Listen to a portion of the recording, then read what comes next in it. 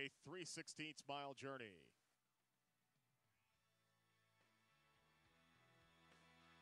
And they're off. That's the seven Rockabye Dancer to the front. The six DKC Frank Lopez right there in contention. Now the six is knocked back a bit as Coach Fuller's gaining along with Behind the Groove. As they head for home, it's the seven Rockabye Dancer going start to finish 7 1, followed by the three and four.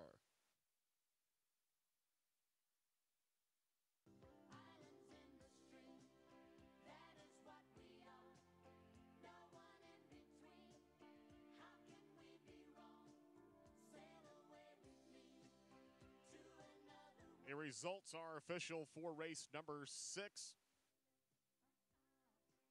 The winner, number seven, Rockabye Dancer.